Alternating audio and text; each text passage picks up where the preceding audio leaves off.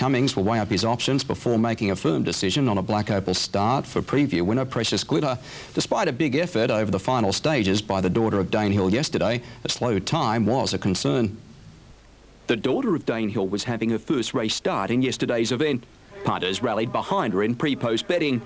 With 100 metres to go, there was room for concern. Precious Glitter trying hard in second, followed by Big Jeffrey running on. This leader, Brave Bulldog is getting tired. Now Precious Glitter on the outside. Precious Glitter put the head in front, and Precious Glitter wins the preview.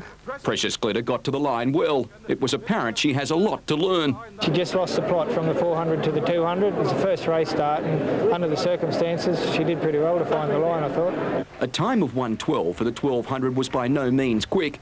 Jockey Dale Spriggs was, however, happy with the effort. She's definitely got a bit of ability. She's going to improve a lot on the run. Having a first start and being over 1200, she to over race a little bit early. Spriggs hopes to secure the mount on the Cummings train commodity in a fortnight.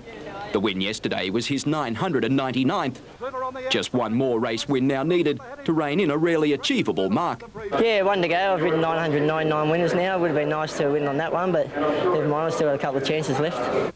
In a big weekend of sport, one of the many highlights was a local leg of the National the Black Opal preview in Canberra saw interstate trainers arrive in force. Connections of the Victorian train Brave Bulldog paid a late entry fee of $3,500 and it looked likely to pay off halfway down the straight. But Brave Bulldog has kicked away at the 200. Brave Bulldog is the leader. Precious Glitter trying hard in second, followed by Big Jeffrey running on. This leader, Brave Bulldog, is getting tired. Now Precious Glitter on the outside. Precious Glitter put the head in front and Precious Glitter wins the preview. Precious Precious Glitter first, Brave Bulldog second, Big Jeffrey third, in behind.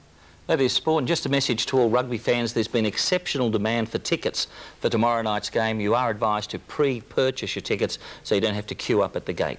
That's Get tomorrow night. Too, Get eh? there early. Okay, thank you, Peter. To finance due to a stock exchange